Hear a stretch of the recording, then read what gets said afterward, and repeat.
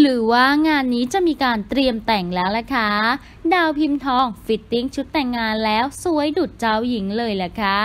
เป็นนางร้ายหน้าสวยที่เสน่ห์เหลือล้นเลยล่ะค่ะสำหรับสาวดาวพิมพ์ทองวชิราคม ซึ่งเธอคนนี้ก็สามารถดึงดูดใจของหนุ่มๆได้เป็นอย่างดีจ้า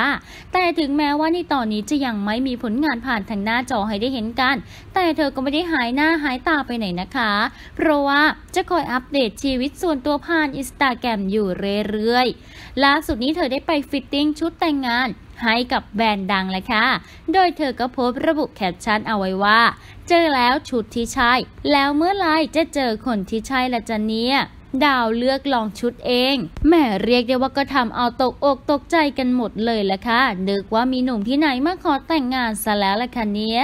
แหม่งานนี้คงต้องรอลุ้นกันต่อไปอีกละค่ะ